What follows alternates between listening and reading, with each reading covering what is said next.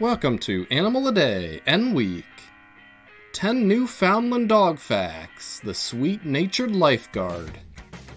1. Newfoundlands, or Newfies, are big, muscular dogs originally bred to help fishermen in Newfoundland, Canada. 2.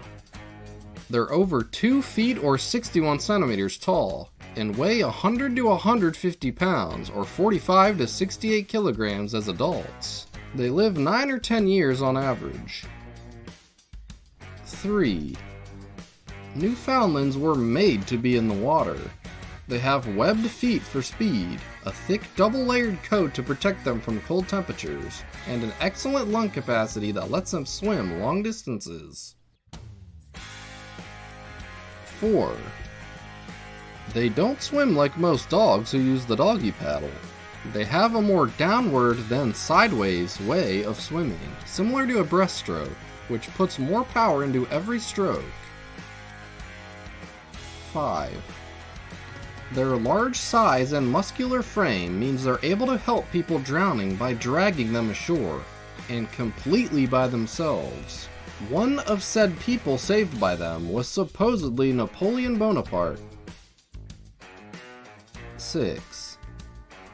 They are well known for being sweet, gentle, intelligent, sensitive, and very rarely aggressive.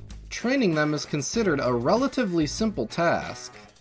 They have the nickname of Nanny Dog because they're good with kids. 7. Lewis and Clark had a Newfoundland companion named Seaman who accompanied them on their 8,000 mile journey back and forth across America. Seaman is featured on a lot of statues alongside Lewis and Clark. 8. Newfoundlands were the 45th most registered dog with the American Kennel Club in 2021. 9. Newfies grow really fast. They can weigh over 100 pounds or 45 kilograms within one year after birth. And 10. They became very popular in England. The English poet Lord Byron wrote this about his new Who possesses beauty without vanity, strength without insolence, courage without ferocity, and all the virtues of man without his vices. Thanks for watching. Now take that subscribe button to the zoo.